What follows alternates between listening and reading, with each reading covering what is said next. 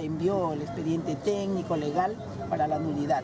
El regidor provincial Santos Gamboa manifestó su preocupación por el reciente informe de la Gerencia de Obras de la Municipalidad Distrital de Nuevo Chibote sobre el proyecto de la creación de la línea de construcción del canal principal, cámara de bombeo y línea de impulsión de aguas residuales, en el cual se destacaron 18 observaciones que nunca hubieron en los informes de la anterior gestión de obras, siendo titular de esta cartera segundo Urrutia Vargas. Lamentablemente el día de ayer el alcalde distrital manifiesta que hay 18 observaciones.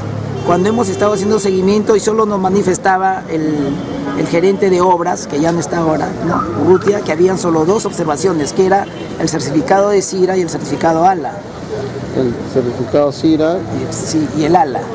Y ese, el CIRA es esto del certificado de restos arqueológicos. Restos arqueológicos. ¿Y el otro, el ALA de qué es?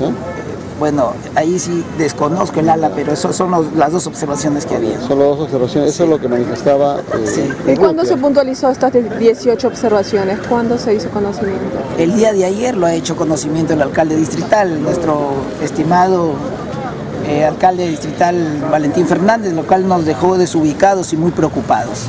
¿Ustedes como, método de observación qué piensan hacer bueno, seguir trabajando y luchando por lo que, se cumpla con, los proyectos que están en mención. El regidor considera que estas 18 observaciones no hacen más que retrasar el inicio de la obra presupuestada en 24 millones de soles y que está paralizada desde el mes de marzo, perjudicando en la espera a ocho poblaciones neochimbotanas. ¿Y cómo retrasaría estas 18 observaciones a, todo el proceso? Con respecto a los a la Cámara de Impulsión. Bueno, si hay observaciones no se puede iniciar la ejecución, porque ya el presupuesto está. ¿De cuánto, es el presupuesto? De 24 millones. ¿Cuánto tiempo ya se está aplazando? Bueno, desde el mes de marzo, imagínese. 24 millones es para este proyecto. Sí, así es. Ya está aprobado y con presupuesto asignado. ¿Ese presupuesto de quién? Es del gobierno central a través del Ministerio de Vivienda y Construcción. Con este problema retrasa más entonces esta iniciación. Claro, hay 10 pueblos inicialmente que están considerados y que están esperando, ¿no? Que es este Nueva Esperanza, Los Constructores, Nuevo Horizonte, Vía Don Víctor, Santa Rosa 1, Santa Rosa 2, ¿no? Eh, Victoria del Sur. Por otro lado, Santos Gamboa manifiesta que los trámites para la devolución de las 308 hectáreas del proyecto Chinecas ya están en camino desde el 15 de marzo, día en que se aprobó la nulidad de la informal donación. Solo se espera subsanar algunas observaciones para que el terreno pase a poder de Chinecas para que éste pueda devolverlo a bienes nacionales. El 15 de marzo, en una sesión de consejo por unanimidad se aprobó la nulidad de este asiento registral de las 308 hectáreas. Luego ha habido, pues, eh, como todo proceso público, un poco burocrático, que hemos estado constantemente. Eh, bueno, al fin el arquitecto gerente de desarrollo urbano ya envió el expediente técnico legal para la nulidad.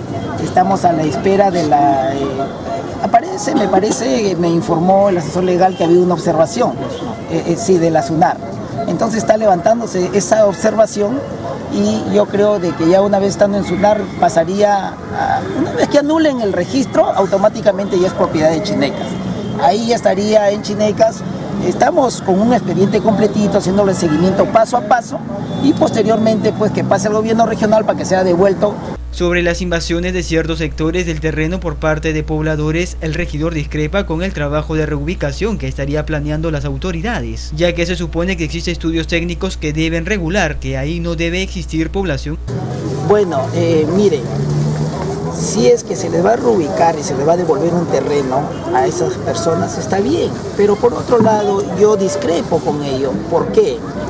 porque si en aquel entonces ha habido un informe técnico, ha habido un levantamiento topográfico, ha habido profesionales, también ha habido un gerente de desarrollo urbano, ha habido arquitectos, ha habido ingenieros civiles y es de la municipalidad, es una cuestión de institución. O sea, lo que ahora haga la institución en esta gestión con las personas que están, viene un nuevo alcalde y de nuevo desconoce lo que se ha hecho. Pero sí se están ocupando, familias están ocupando áreas destinadas para... Sí, y en su debido momento se denunció. Pero bueno, pues... ¿Cuántas áreas están ocupando? Eh, son algunas avenidas, algunas avenidas, pero son de carácter secundario, porque hubieron anteriormente avenidas principales que dan hasta la Panamericana, igual se ha cerrado. Envió el expediente técnico legal para la nulidad.